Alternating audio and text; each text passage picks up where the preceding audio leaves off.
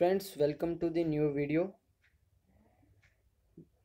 friends इस video में हम बात करने वाले हैं फीफा 19 मोबाइल में आने वाले दो नए इवेंट्स के बारे में।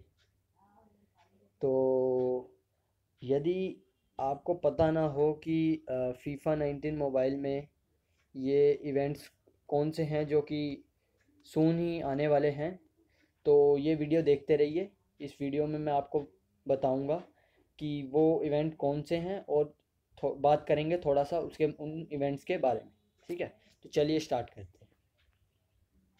देखिए, जैसे आप इवेंट सेक्शन में जाएँगे, मैंने इवेंट सेक्शन में क्लिक किया, ये सारे इवेंट्स आ गए, ठीक है? दोस्तों, इनमें ये जो जितने भी इवेंट्स आपके सामने स्क्रीन पे दिख रहे हैं, ये सारे इवेंट्स इस टाइम लाइव हैं, यानी इनको आप खेल सकते हैं, ठीक है?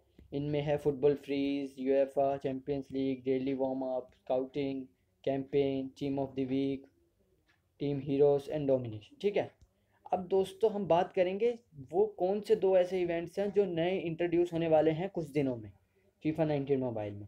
तो दोस्तों, जी हाँ वो इवेंट्स है ये, आपकी स्क्रीन पे जो दिख रहे हैं। पहला इवेंट है बॉक्सिंग डे प्रीमियर लीग ठीक है? जो कि अनलॉक होने वाला है छः दिन में। यानी ये इकतीस बारह, इकतीस दिसंबर 2018 को ये इवेंट लाइव होगा, ठीक है, बॉक्सिंग डे वाले दिन।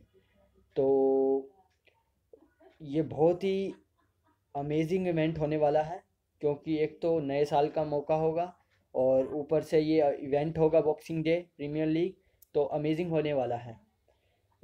अगर आपने last time FIFA last season खेला हो 2018 तो उसमें भी बॉक्सिंग डे आया था बॉक्सिंग डे इवेंट ठीक है?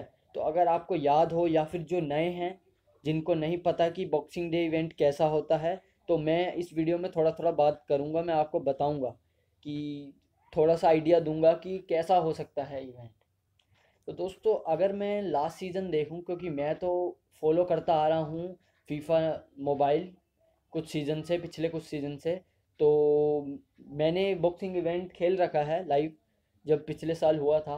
तो बॉक्सिंग इवेंट्स में ऐसा कुछ होता है कि जो ये प्रीमियर लीग का है तो थोड़ा थोड़ा तो आपको वैसे पता लग जाएगा कि ये किस, किसके रिलेटेड है। ये प्रीमियर लीग के रिलेटेड है, ठीक है?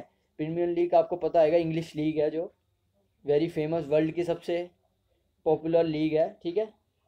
तो वो है प्रीमियर लीग तो इसमें इवेंट में क्या होता है? इवेंट में बेसिकली यही होता है कि जो बॉक्सिंग डे मैचेस होते हैं ना, यहाँ तक मैं आइडिया लगाता हूँ बॉक्सिंग डे मैचेस जो होंगे उस दिन प्रीमियर लीग में, उसके इवेंट्स आएँगे। और जिस ओपोनेंट के साथ होंगे तो उन ओपोनेंट्स में, जिनके बीच में इवेंट होगा उनमें से आपको एक कोई ओपोनेंट चुनना होगा, जिनको आप समझते हैं कि वो जीतेगा बॉक्सिंग डे वाले दिन।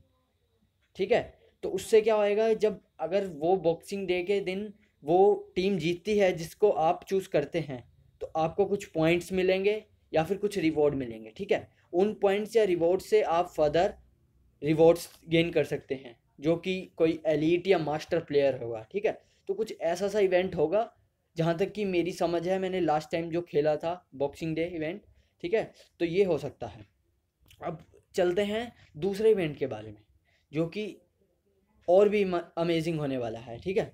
तो ये कौन सा इवेंट है? ये है 2019 कैंपेन ठीक है? ये लाइव होगा ग्यारह दिन बाद, यानी कि जनवरी जनवरी 2019 में, ठीक है? तो क्योंकि मैं पिछले सीज़न भी, में भी ये इवेंट खेला हूँ तो मुझे इसका आइडिया है कि ये कैसा इवेंट है, ठीक है? तो मैं बात करता हूँ कि ये इवेंट कैसा होगा, ठीक है?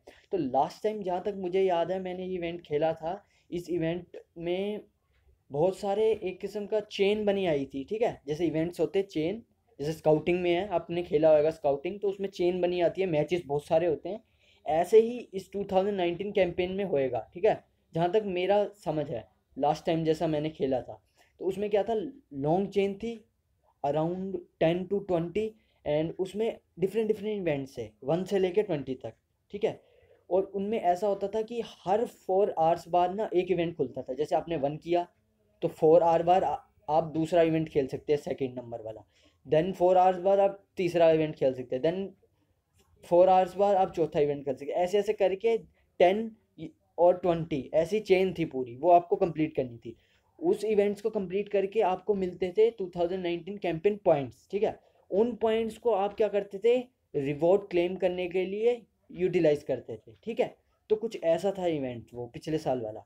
और मुझे ये भी याद है कि उस साल कौन सा reward elite mast, master player था ठीक है? तो वो था जहाडेस जो कि यूएसए नेशनैलिटी का प्लेयर है और एमएलएस में खेलता है ठीक है? कोलंबस क्रू के लिए इस टाइम ठीक है? तो वो प्लेयर था वो था अराउंड नाइन्टी टू और नाइन्टी थ्री, जहाँ तक मेरी समझ है नाइन्टी टू या नाइन्टी थ्री रेटेड प्लेयर था वो, ठीक है? स्ट्राइकर तो जारडेस नाम था उसका। तो ये था इवेंट का रिवॉर्ड ठीक है? मास्टर प्लेयर तो कुछ ऐसा ही होने वाला है, इस साल भी इवेंट कुछ डिफरेंट होगा, क्योंकि फीफा नाइनटीन मोबाइल अपडेट है तो कुछ ना कुछ तो डिफरेंट होगा, पर बहुत ही एक्साइटेड होने वाले हैं ये दोनों इवेंट तो आप ज़रूर लॉग इन करें उस दिन, जिस दिन ये इवेंट लाइव होंगे और इन्जॉय करें, ठीक है? इस वीडियो में इतना ही। अगर आपने हमारा चैनल सब्सक्राइब नहीं किया तो सब्सक्राइब करें ज़रूर। अमेजिंग वीडियोस के लिए कंटेंट। हम फीफा नाइनटीन मोबाइल और PES nineteen mobile gaming content पे वीडियोस बनाते हैं। और दोस्तों, कमेंट करना ना भूलें कि आपको, आप कितने एक्साइटेड हैं इन इवेंट्स के लिए और आपको क्या एक्सपेक्टेशन है इस इवेंट्स के रिलेटेड। लाइक करना ना भूलें इस वीडियो को। और इस वीडियो में इतना ही। Good bye, take care, sign off.